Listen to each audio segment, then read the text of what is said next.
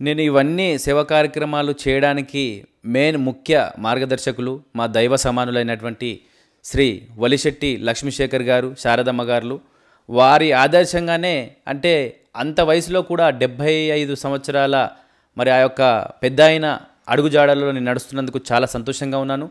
మరి వాళ్ళు అంత వయసులోనే అన్ని సేవా కార్యక్రమాలు చేస్తూ ఉంటారు. మరి వారిని ఆదర్శంగా తీసుకొని నేను ముందుకెళ్తా ఉన్నాను. మరి విశ్వ హిందూ పరిషత్లో ట్రెజరర్గా కూడా ఉన్నారు. మరి ఆ యొక్క వలిశెట్టి లక్ష్మీశేఖర్ గారు మా ఆశ్రమానికి ముఖ్య సలహాదారులుగా కూడా ఉన్నారు.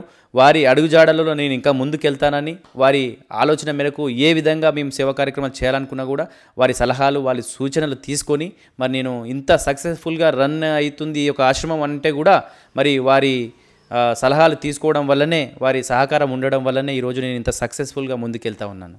అంటే మెయిన్ ఇప్పుడు ఆయన ఇప్పుడున్నటువంటి పరిస్థితుల్లో బ్యాంకు ఉద్యోగిగా ఉండి రిటైర్డ్ అయిన తర్వాత కూడా ఇంట్లో ఉట్టిగా కూర్చోకుండా సమాజం పట్ల మరి ఇప్పుడున్నటువంటి యువతకి ఒక మెసేజ్ ఇవ్వాలనే ఒక ఆలోచనతో మరి లక్ష్మీశేఖర్ గారు ఎన్నో సేవా కార్యక్రమాలు చేస్తుంటారు. దాదాపు ఆయన ఒక ముప్పై నుంచి ముప్పై ఐదు ఆశ్రమాలకి మరి అధ్యక్షతన వహిస్తుంటారు.